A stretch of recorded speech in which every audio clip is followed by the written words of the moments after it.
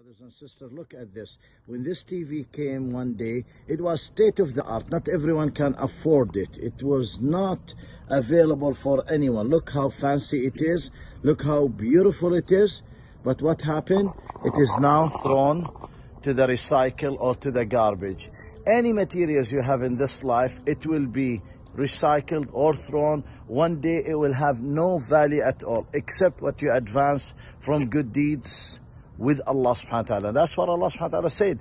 وَمَا تُقَدِّمُوا لِأَنفُسِكُم مِّنْ خَيْرٍ تجدوه عند الله هو خيرا وأعظم أجرا what you, whatever you forward for yourself from good deeds you will find it with Allah Allah is better Allah is greater with the reward so can you see my dear brothers and sisters whatever value this TV whatever value this TV and was like state of the art today. It's recycled to the garbage.